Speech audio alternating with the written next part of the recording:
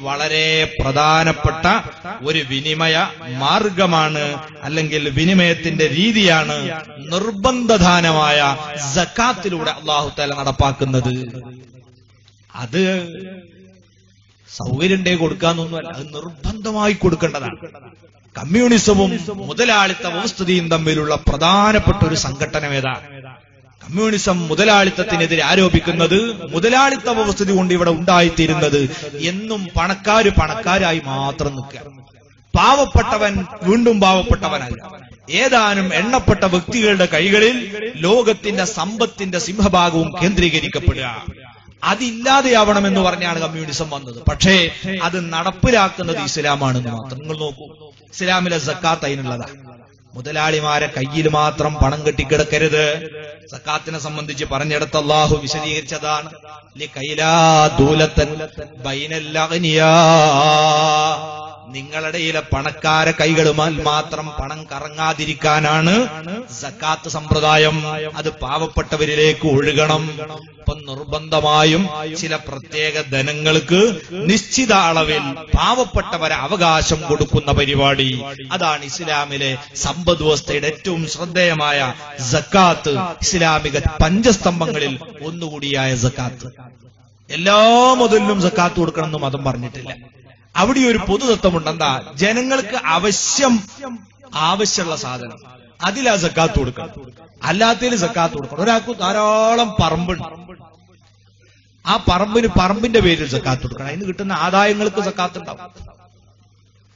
പറമ്പിന് പറമ്പിന്റെ പേരിൽ സക്കാത്തില്ല അതുപോലെ തന്നെ ഒരാൾക്ക് വാഹനമുണ്ട്. ആ വാഹനത്തിന്റെ വില കെട്ടിയിട്ടൊന്നും അയാൾ സക്കാത്ത് കൊടുക്കണം. അത് ജനങ്ങൾക്കൊക്കെ ഉപകാരം കിട്ടുന്ന സാധനമാണ്. ഒരാൾക്ക് ബസ് ഉണ്ടായി ഒരാൾക്ക് കാർ ഉണ്ടായി ജീപ്പ് ഉണ്ടായി. നമുക്കൊക്കെ ഉപകാരമല്ലേ? അതുകൊണ്ട് ആ ജീപ്പിന് എത്ര വില ഉണ്ടെന്ന് കെട്ടിയിട്ട് അതിന് ഒരു കാത്തു കൊടുക്കണം. അത് വേണ്ട. സുല്ലാസിങ്ങൾ നമ്മളോട് പഠിപ്പിച്ചു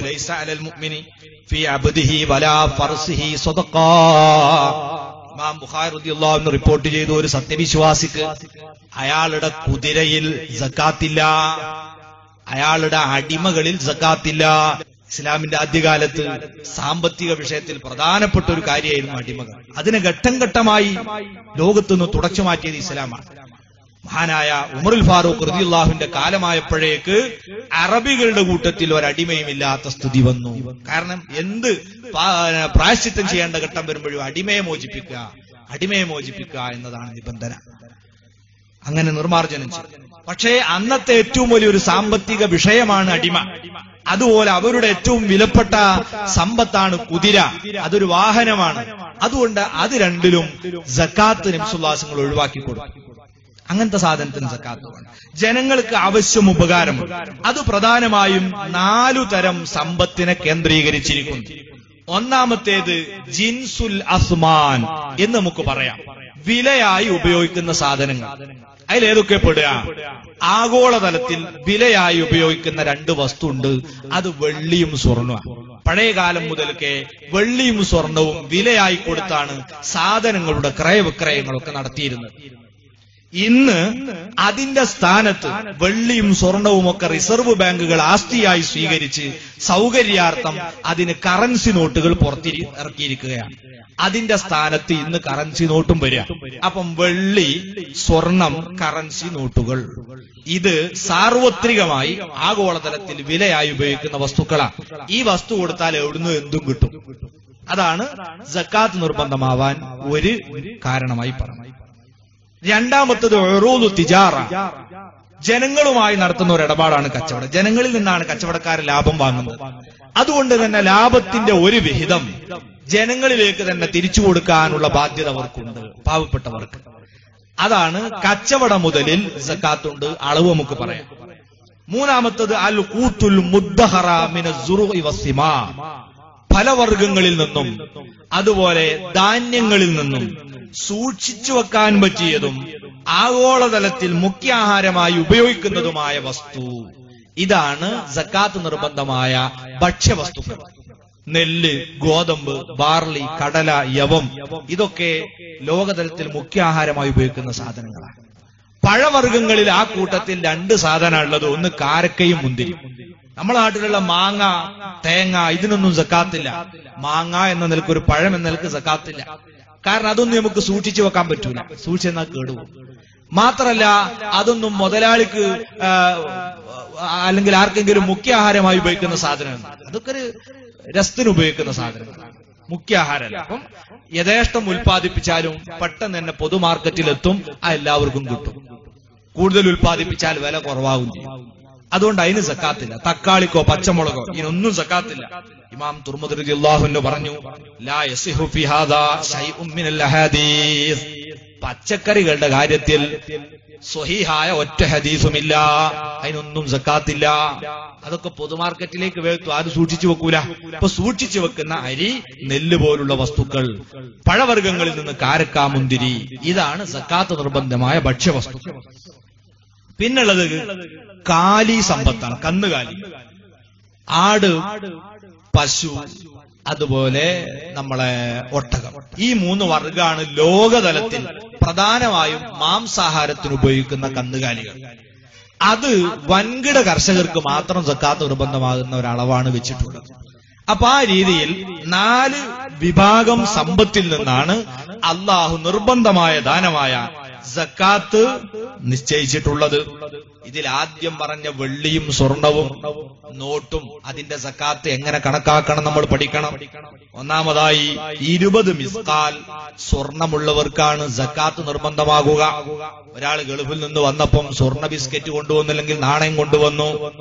അത് ഇരുപത് മിസ്കാൽ ഉണ്ടായാൽ നമ്മുടെ ഇന്നത്തെ അളവനുസരിച്ച് എൺപത്തി അഞ്ച് ഗ്രാമാണ്. എൺപത്തി അഞ്ച് ഗ്രാം സ്വർണം ഒരാളെ കൈവശം വന്നു റബിയുൽ അവൽ ഒന്നാം തീയതി. അടുത്ത റബിയുൽ ലവൽ ഒന്നാകുന്നത് വരെ അത് ചെലവഴിക്കപ്പെടാതെ അയാൾ സൂക്ഷിച്ചു വെക്കുകയും ചെയ്താൽ ആ സ്വത്തിൽ നിന്ന് രണ്ടര ശതമാനം പാവങ്ങൾക്ക് കൊടുക്കണം. സ്വർണവും വെള്ളിയും നോട്ടും ഒക്കെ അങ്ങനെ ഒരു നിബന്ധനയും കൂടിയുണ്ട്. നിസാബും വേണം കൊല്ലം പൂർത്തിയാവും വേണം. സ്വർണത്തിന്റെ നിസാബാണ് പറഞ്ഞത് എൺപത്തഞ്ച് ഗ്രാം വേണം. അത് തന്നെ ഒരു കൊല്ലക്കാലം നമ്മളെടുത്ത് സ്റ്റോക്ക് ചെയ്യപ്പെടുകയും വേണം. അപ്പോഴാണല്ലോ ബോധ്യം ഇവൻ അത്യാവശ്യക്കാരനല്ല. അത്യാവശ്യക്കാരനാണെങ്കിൽ തന്നെ ചെലവായി പോകും അല്ലാത്തവനായതുകൊണ്ട് ഇവൻ ഒരു കൊല്ലം അവന്റെ കയ്യിൽ സ്റ്റോക്ക് ഉണ്ടായാൽ അതിന്റെ രണ്ടര ശതമാനം കൊടുക്കണം. ഇതേ രീതിയിൽ തന്നെയാണ് വെള്ളി. വെള്ളി ഇരുന്നൂറ് ദീർഘമാണ് അതിന്റെ കണക്ക്. അത് നമ്മളെ നാട്ടിലെ തൂക്കനുസരിച്ച് ഏകദേശം അഞ്ഞൂറ്റി തൊണ്ണൂറ്റിയഞ്ച് ഗ്രാം ഉണ്ട് അഞ്ഞൂറ്റി തൊണ്ണൂറ്റിയഞ്ച് ഗ്രാം. അപ്പൊ ഒരു അരക്കിലോൻ കിലോൻ അറുന്നൂറ് ഗ്രാമോളം. വെള്ളി ഒരാളെ കയ്യിൽ മുഹറ മാസം ഒന്നാം തീയതി എത്തിയാൽ അടുത്ത മുഹറ ഒന്നായ അതിന്റെ കൊല്ലം പൂർത്തിയായി. സക്കാത്ത് കൊടുക്കുന്നവരൊക്കെ സൂക്ഷിക്കുക. അറബ് മാസമാണ് കണക്ക് വെക്കേണ്ടത്. ഇംഗ്ലീഷുമായിട്ട് വ്യത്യാസം ഉണ്ടാവും അറബ് മാസം ആകുമ്പോഴേക്ക് നിർബന്ധം ഇംഗ്ലീഷ് ആൻ കാത്തുക്കൂല. ജനുവരി ഒന്നാം തീയതി അടുത്ത ജനുവരി ഒന്നിനല്ല അന്നത്തെ അറബി ഡേറ്റ് നോക്കിയിട്ട് സക്കാത്ത് കൊടുത്താണ് അങ്ങനെ അഞ്ഞൂറ്റി തൊണ്ണൂറ്റിയഞ്ച് ഗ്രാം വെള്ളി ഒരു വർഷം സൂക്ഷിച്ചാൽ അതിന്റെ രണ്ടര ശതമാനം കൊടുക്കണം. പിന്നെ സ്ത്രീകളപ്പം ശ്രദ്ധിക്കണം അവരെ ആഭരണത്തിനൊക്കെ സക്കാത്ത് കൊടുക്കേണ്ടി വരൂലേ? ആഭരണം സക്കാത്തുള്ളതും ഇല്ലാത്തതും ഉണ്ട്. സാധാരണ ഷാഫി മതബ് പ്രകാരം ഒരു നാട്ടിൽ പതിവനുസരിച്ച് സ്ത്രീകൾ സാധാരണഗതിയിൽ ഉപയോഗിക്കുന്ന ഒരളവ്. അത് തന്നെ മതം അംഗീകരിച്ച രീതിയിലുള്ള ആഭരണവുമാണെങ്കിൽ ആ ആഭരണങ്ങൾക്ക് സ്ത്രീകൾ ധരിക്കുന്ന ആഭരണങ്ങൾക്ക് സക്കാത്ത് വേണ്ടാന്ന. അതിഞ്ഞ് പത്തര നേരത്തെ പറഞ്ഞ ആ എൺപത്തഞ്ച് ഗ്രാമിന്റെ മേലെയാണെങ്കിലും കൊടുക്കണ്ട. ഒരു നാട്ടിലെ പതിവ് ചില നാട്ടിലൊക്കെ ഏകദേശം ഒരു മുപ്പത് പവനൊക്കെ ഒരു കല്യാണത്തിന് പോകുമ്പോൾ ധരിക്കുന്നു വെക്കുക സാധാരണ പുരയിലുക്കുമ്പോഴുന്ന അത് നല്ല കൂട്ടാണ് നമ്മളൊരു ഒരുങ്ങിപ്പോകുമ്പോണ്ടാവും. ഒരു മുപ്പത് പവനൊക്കെ ധരിക്കുകയാണെങ്കിൽ. അതിനേക്കാളും മേലെ ഒരു പെണ്ണിന് ആഭരണം ഉണ്ടോ നാലുണ്ടെങ്കിൽ അതിന്റെ രണ്ടര ശതമാനം സക്കാത്തായിട്ട് കൊടുക്കണം. അല്ലാത്തതിന് സാധാരണ രീതിയിൽ ധരിക്കുന്നതിന് കൊടുക്കേണ്ടതില്ല. ഇങ്ങനെ വെള്ളിയുടെയും സ്വർണത്തിന്റെയും സക്കാത്ത്. ഇനി നോട്ടിന്റെ സക്കാത്ത് എങ്ങനെ നമ്മൾ കണക്കാക്കുക? പണ്ഡിതന്മാര് പറയുന്നു ചരക്കുകളെയൊക്കെ വില കെട്ടുന്നത് സാധാരണ വെള്ളിയെ കണക്കാക്കിയിട്ടായിരുന്നു എന്നാണ്. ഒന്ന്. രണ്ടാമത് പാവപ്പെട്ടവർക്ക് കൂടുതൽ ഉപകാരം കിട്ടുന്നതും വെള്ളിയോട് നോട്ടിനെ താരതമ്യപ്പെടുത്തുമ്പോഴാണ്. അപ്പോ അഞ്ഞൂറ്റി തൊണ്ണൂറ്റിയഞ്ച് ഗ്രാം വെള്ളിയുടെ വില എത്രയാവും നോക്കാം ഇപ്പൊ ഏകദേശം ഒരു പതിനയ്യായിരം രൂപയെന്നാ എനിക്ക് തോന്നുന്നു നിങ്ങൾ കണക്കൂട്ടി ഒരു പതിനയ്യായിരം രൂപ ഉണ്ടെങ്കിൽ ആ രൂപ സക്കാത്ത് നിർബന്ധമാകാനുള്ള തുകയായി അത് ഒരു കൊല്ലക്കാലം ഒരാളെ കയ്യിൽ സ്റ്റോക്ക് കിടന്നാൽ ബാങ്കിലാവട്ടെ മറ്റെവിടെയാവട്ടെ സ്റ്റോക്ക് കടന്നാൽ ഒരു കൊല്ലം പൂർത്തിയായാൽ അതിന്റെ രണ്ടര ശതമാനം കൊടുക്കണം. അപ്പൊ ഒരു ലക്ഷം ഉറുപ്പ്യുള്ളവൻ രണ്ടായിരത്തി അഞ്ഞൂറ് ഉറുപ്പ്യ കൊടുക്കണം. നൂറുപ്യക്കൊന്നും സക്കാത്തില്ല. ആയിരത്തി അഞ്ഞൂറ് ഉറുപ്പ്യന്റെ മേലോട്ട് അഞ്ഞൂറ്റി തൊണ്ണൂറ്റിയഞ്ച് ഗ്രാം വെള്ളിയുടെ വില ഒരു കൊല്ലക്കാലം സ്റ്റോക്ക് ഉണ്ടായിരിക്കണം. അവരാണ് സക്കാത്ത് കൊടുക്കേണ്ടത്. ഇനി കച്ചവടക്കാരന്റെ സക്കാത്തും ചെറിയ തോതിൽ പറയട്ടെ. സാധാരണ ചെയ്യും കച്ചവടക്കാരൻ ഞങ്ങളിപ്പോ എന്താ ചെയ്യാ? ഒരു ഉദാഹരണം ഒരാൾക്ക് ഗൾഫിൽ നിന്ന് ജ്യേഷ്ഠൻ ഒരു ലക്ഷം ഉറുപ്പ്യ അയച്ചു ആ കാശ് കിട്ടുന്നത് റമലാൻ ഒന്നിനാണ്. അപ്പൊ അവൻ ചിന്തിച്ചു ഏതായാലും റമലാൻ കഴിഞ്ഞിട്ട് എന്തെങ്കിലും ഒന്ന് തുടങ്ങണം. പെരുന്നാളിന്റെ പിറ്റേന്ന് തന്നെ ഓൻ ഒരു ഫൂട്ട് വെയർ തുടങ്ങി ഒരു ചെരുപ്പ് കട. അങ്ങനെ ചെരുപ്പ് കട തുടങ്ങിക്കഴിഞ്ഞാൽ ഇനി അയാൾ എങ്ങനെയാണ് സക്കാത്ത് കൊടുക്കേണ്ടത്? അടുത്ത റമലാൻ ഒന്നാകുമ്പം തന്നെ കട അടക്കുക ചൊവ്വാൽ ഒന്നാ നിൽക്കണ്ട. പെരുന്നാൾ കഴിയാൻ നിൽക്കണ്ട. കാരണം എന്താ? ഈ സക്കാത്ത് കൊടുക്കാൻ മാത്രമുള്ള തുകയാണല്ലോ ഒരു ലക്ഷം റുപ്യ. അത് അവന്റെ കയ്യിൽ കിട്ടിയ റമലാൻ ഒന്നിനാണ്. അപ്പം തന്നെ സക്കാത്തിന്റെ തുക അവന്റെ കയ്യിൽ വന്നു. കച്ചവടം തുടങ്ങിക്കൊള്ളുന്നില്ല. ആ തുക കൊണ്ട് പിന്നെ തുടങ്ങാണ്. അപ്പൊ ഈ തുക കയ്യിൽ കെട്ടിക്കടന്ന റമലാൻ ഒന്നിന് തന്നെ കട പൂട്ടിയിട്ട് നിലവിൽ പീടികയിലുള്ള സാധനങ്ങളുടെ വിറ്റ് കിട്ടാൻ സാധ്യതയുള്ള വില കൂട്ടുക അങ്ങനെ കൂട്ടി ലാഭമായി വന്ന വല്ലതും അതിലുണ്ടെങ്കിൽ അതും കൂട്ടിയിട്ട് മൊത്തത്തിൽ രണ്ട് നോക്കുക അങ്ങനെ നോക്കുമ്പം ഒരു രണ്ട് ലക്ഷം ഉറുപ്പ്യന്റെ മുതൽ അവന്റെ കടയിലുണ്ട്. ഉണ്ടെങ്കിൽ അതിന്റെ രണ്ടര ശതമാനം പാവപ്പെട്ടവർക്ക് സക്കാത്തായിട്ട് കൊടുക്കണം. അത് എത്ര വരിക? അഞ്ചിൽ അഞ്ച് അയ്യായിരം ഉറുപ്പ്യ വരും. രണ്ട് ലക്ഷത്തിന്റെ അഞ്ച് ശതമാനം രണ്ടര ശതമാനം അയ്യായിരം രൂപ വരും. അത് സക്കാത്തായിട്ട് കൊടുക്കും ഇങ്ങനെയാണ് കച്ചവടക്കാർ സക്കാത്ത് കണക്കാക്കേണ്ടത്. ഇങ്ങനെ ഓരോ മുതലിന്റെയും സക്കാത്തിനെ സംബന്ധിച്ച് വിശദമായി നമ്മൾ പഠിച്ച് അത് പാവങ്ങളിലേക്ക് എത്തിക്കൽ നമുക്ക് നിർബന്ധമാണ്.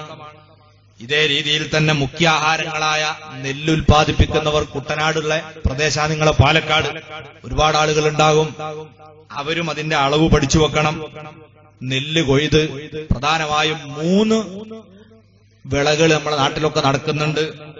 പലയിടത്തും സാധാരണ നടക്കുന്നുണ്ട് ആ പുഞ്ച അതുപോലെ തന്നെ മകരം വരത ഒന്നുകൂടി ഉണ്ടല്ലോ അല്ലെ?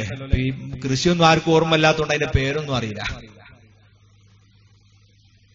ആ കഞ്ഞി കഞ്ഞി മകരം പുഞ്ച. അങ്ങനെ മൂന്ന് കൃഷിയാ കേരളത്തിൽ നടക്കുന്നൊക്കെ നമ്മൾ പണ്ട് അതോ പുസ്തകത്തിൽ പഠിച്ച നമ്മളും കൃഷി ചെയ്ത് വരികയല്ല അത് മൂന്നും കൂടി ഒന്നായിട്ടാ കൂട്ടേണ്ടത്. ഈ മൂന്നും കൂടി ഒന്നായിട്ട് കൂട്ടണം. ഒരു കൊല്ലത്തുള്ള സർവ വിളകളും ഒന്നായിട്ട് കൂട്ടണം. അങ്ങനെ കൂട്ടിയിട്ട് അളന്നു നോക്കുമ്പോ ആയിരത്തി തൊള്ളായിരത്തി ഇരുപത് ലിറ്റർ ഉണ്ടെങ്കിൽ എത്ര? ആയിരത്തി തൊള്ളായിരത്തി ഇരുപത് ലിറ്റർ ഉണ്ടെങ്കിൽ ആയിരത്തി തൊള്ളായിരത്തി ഇരുപത്തി ഒന്ന് എല്ലാവർക്കും ഓർമ്മ ഉണ്ടാവില്ലേ മലബാർ കലാപം ഉണ്ടായാലും ഒന്ന് കുറച്ചാൽ മതി. അങ്ങനെ ആയിരത്തി തൊള്ളായിരത്തി ഇരുപത് ലിറ്റർ. അത് അറുന്നൂറ് സോയെന്നാണ് അറബിയിലെ കണക്ക് വരിക. അങ്ങനെ ആയിരത്തി തൊള്ളായിരത്തി ഇരുപത് ലിറ്റർ ഉണ്ടെങ്കിൽ അതിന്റെ പത്ത് ശതമാനം പാവപ്പെട്ടവർക്ക് കൊടുക്കണം. അവിടെ രണ്ടര പോരാ പത്ത് കൊടുക്കണം. എപ്പോ? അത് ഉണ്ടാക്കാൻ വെള്ളം നമ്മൾ പമ്പ് ചെയ്തു ഉണ്ടാക്കിയതല്ലെങ്കിൽ. വെള്ളം അടിക്കാൻ ഉണ്ടാക്കിയിട്ടുണ്ട് സാമ്പത്തിക ഇലവുണ്ട്. വളട്ട് കൂട്ടൂലുണ്ട് വള നമ്മൾ ഉണ്ടാക്കിയത്. അള്ളാഹു താല പറഞ്ഞില്ല. മണ്ണും വെള്ളവുമാണ് കൃഷിക്ക് ആവശ്യമായിട്ട് ഉള്ളത്. പണ്ടൊക്കെ അങ്ങനെയായിരുന്നു ഉണ്ടാക്കിയത്. അതുകൊണ്ട് വളടാൻ വേണ്ടി ചെലവായത് കൂട്ടൂല. വെള്ളടിക്കാൻ കാശ് ചെലവായിട്ടുണ്ടോ?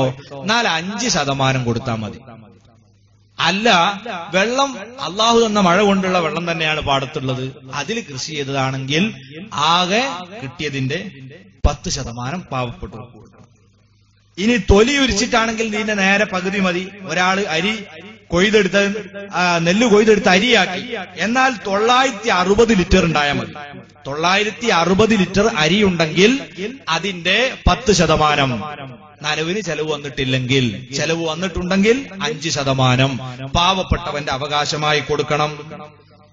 ഇതാണ് പ്രധാനമായ കാർഷിക നമ്മുടെ വിളകളുടെ വിഷയമായി മതം നമ്മളെ പഠിപ്പിച്ചിട്ടുള്ളത്. അപ്പം പ്രധാനമായ വിലയായി ഉപയോഗിക്കുന്ന വസ്തുക്കൾ അത് പാവപ്പെട്ടവന്റെ കയ്യിലേക്ക് വരണം. അതിനാണ് ആ വിഷയത്തിൽ സക്കാത്ത് നിർബന്ധമാക്കിയത്. ജനങ്ങളുമായി ബന്ധപ്പെട്ട് നടത്തുന്ന ബിസിനസ്സാണ് കച്ചവടം. അതുകൊണ്ട് അതിലും സക്കാത്തുണ്ട്. മുഖ്യ ആഹാരമായി ബന്ധപ്പെട്ട കാര്യങ്ങളാണ് ഈ ധാന്യങ്ങളും പ്രധാനപ്പെട്ട ഈ പഴങ്ങളും. അവയിലും ജനങ്ങൾക്ക് കിട്ടാതെയായി പോകരുത്. അതുകൊണ്ട് വർഷത്തിൽ ഒരിക്കൽ ഈ ചെയ്യുന്ന കാർഷിക വിളകളിൽ നിന്ന് പാവങ്ങളിലേക്ക് പോകേണ്ട അവകാശം പോകണം. ഇനി നമ്മൾ പെരുന്നാക്ക് കൊടുക്കേണ്ട നിർബന്ധമായ ഫിത്തർ സക്കാത്ത് എന്ന ഒരു പരിപാടി കൂടി സക്കാത്തിന്റെ ഭാഗമായി അള്ളാഹു നിശ്ചയിച്ചു. അത് പ്രധാനമായും ഒന്ന് നമ്മളെ നോമ്പിന്റെ പോരായ്മകളൊക്കെ പരിഹരിക്കുക എന്നതാണ്. സൂറുള്ള പറഞ്ഞു ഫർദ വസല്ലം സക്കാത്തുൽ ഫിത്രി. ഫിത്ർ സക്കാത്തിന് വിധങ്ങൾ നിർബന്ധമാക്കിയത്. അത് തുഹറത്തല്ലി സുയാമി മിനല്ല വർറഫസി നോമ്പെടുത്തവൻ അറിയാതെ എന്തെങ്കിലും അനാവശ്യം പറയുകയോ ചെയ്യുകയോ ചെയ്തു പോയിട്ടുണ്ടെങ്കിൽ അത് ശുദ്ധീകരിക്കാനാണ് പെരുന്നാളിന്റെ അന്ന് അരി കൊടുക്കുന്നത്. ഒന്ന്. രണ്ടാമത് തുഴമത്തല്ലിൽ മസാക്കീൻ പാവപ്പെട്ടവർക്ക് ഭക്ഷണം കിട്ടണല്ലോ. അതും കൂടി ആഗ്രഹിച്ചുകൊണ്ടാണ്. അങ്ങനെ അതും നമുക്ക് നിർബന്ധമാണ് അത് കൊടുക്കേണ്ടത് ഒരാൾക്ക് ഒരു സോ ഒരു സോ എന്ന് പറഞ്ഞാൽ ഏകദേശം ഇന്നത്തെ അളവനുസരിച്ച് രണ്ട് അറുന്നൂറ് ഗ്രാം വരും. അത് തൂക്കം അളക്കുന്നിടത്ത് ചില നാട്ടിലൊക്കെ ഏറിയ വ്യത്യാസം അങ്ങോട്ടും ഇങ്ങോട്ടും ഉണ്ടാവും. അതുകൊണ്ട് ഇപ്പൊ നിലവിൽ ഉള്ളതിനെതിരെ നിങ്ങൾ സമരമൊന്നും ചെയ്യണ്ട. അവിടെ എത്ര കൊടുക്കുന്ന വെച്ചാൽ അതിന് കൊടുക്കുക ഏകദേശം ഒരു രണ്ടേ അറുന്നൂറ് ഉണ്ടായാൽ കുറയില്ല എന്നാ തോന്നുന്നത്. അങ്ങനെ ഒരാൾക്ക് വീതം വീട്ടിലുള്ള എല്ലാവർക്കും നമ്മൾ സക്കാത്ത് കൊടുക്കണം. ഇത് ഏകദേശം എല്ലാ ആളുകളും കൊടുക്കാൻ നിർബന്ധിതരാവും. കാരണം പെരുന്നാളിന്റെ അന്ന് താമസിക്കാനുള്ള വീട് അന്ന് ഉടുക്കാനുള്ള വസ്ത്രം അന്ന് കഴിക്കാനുള്ള ഭക്ഷണം ആ തുടങ്ങിയ കാര്യങ്ങളൊക്കെ ഉള്ളവര് ഏകദേശ ആളുകളും ആയിരിക്കും. അവരൊക്കെ സക്കാത്ത് നിർബന്ധമാണ് ഇനി ഈ പറഞ്ഞ സക്കാത്തുകളെല്ലാം ഇത് അർഹരായ ആളുകളിലേക്ക് എത്തിക്കുക